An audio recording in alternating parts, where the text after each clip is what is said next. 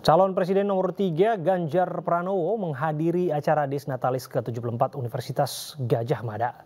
Dalam acara itu Ganjar bersapa dengan Mensesnek Pratikno kemudian melanjutkan giat kampanye dengan berdialog bersama petani tembakau di Yogyakarta. Saya mengucapkan selamat Calon Presiden nomor urut 3 Ganjar Pranowo menghadiri acara Disnatalis ke-74 Universitas Gajah Mada yang digelar di Geraha Sabha Brahmana, Yogyakarta selasa pagi.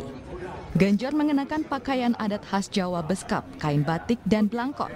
Dalam acara ini, Ganjar bertemu Menteri Sekretaris Negara yang hadir sebagai Ketua Majelis Wali Amanat Pratikno. Keduanya bersalaman, berpelukan, dan berbincang sebelum acara bertajuk Rapat Umum Terbuka Disnatalis ke-74 UGM itu dimulai. Tak lama setelah Ganjar tiba, acara pun dimulai dengan masuknya Majelis Wali Amanat hingga guru besar UGM ke mimbar depan.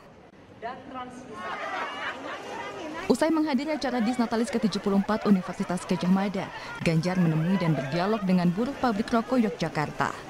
Ganjar berdialog menyerap aspirasi pekerja pabrik rokok yang didominasi pekerja perempuan dan ada pula pekerja disabilitas. Ganjar berharap semakin banyak industri yang memberi ruang kelompok disabilitas untuk bekerja dan berkarya. Kalau kita bicara industri rokok, tantangannya tidak mudah ya. Hulunya produksi uh, tembakau kita yang secara nasional makin menurun, kebutuhannya meningkat dan akhirnya dipenuhi dengan cara impor, maka terhadap petani tembakau sendiri mesti mendapatkan proteksi. Ganjar bersama Mahfud menyatakan keberpihakan kepada petani tembakau. Ganjar menyimpulkan industri tembakau merupakan industri padat karya yang menjadi titik kebergantungan suatu desa. Dari daerah istimewa Yogyakarta, Putu Bagus Aristiawan, iNews melaporkan.